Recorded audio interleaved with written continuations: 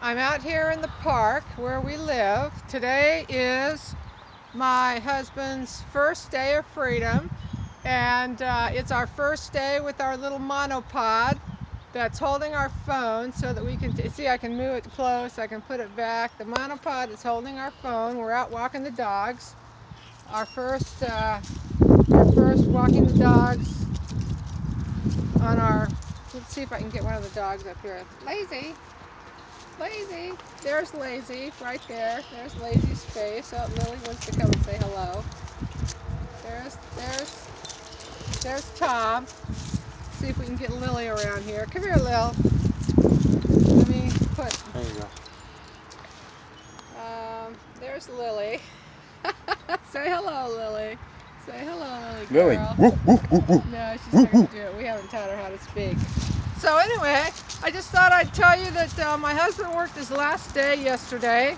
So he is now a free man. Actually, and I'm still subbing because they haven't filled up my last 12 hours yet.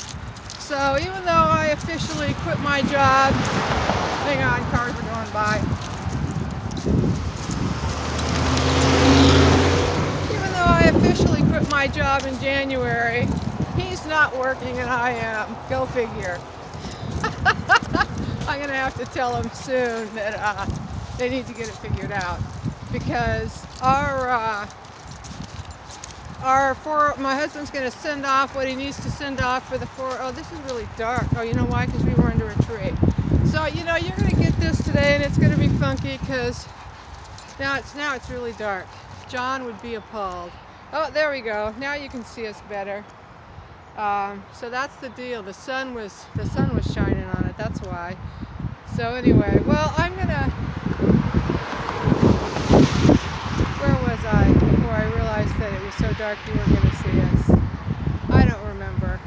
First day of freedom. I want. That's what I really wanted to let you know. Is uh, we're here doing our walk with the dogs. He usually only can go with me on Sunday because that's the only day that he has off. But it's Wednesday, and he's going to do the paperwork today and send it in so that our 401k money starts getting on its way back to us. And as soon as it gets here, we're going to buy the coach and hit the road. Well, we bought the coach. We just have to finish paying for it and uh, and hit the road. And the adventures of Lily and Lazy will be from uh, a different place under the sun uh, every day, often. So anyway, uh, I just wanted to share our first ever. Um, retirement walk with you folks. And uh, you have yourself a great day. We're gonna. Bye bye.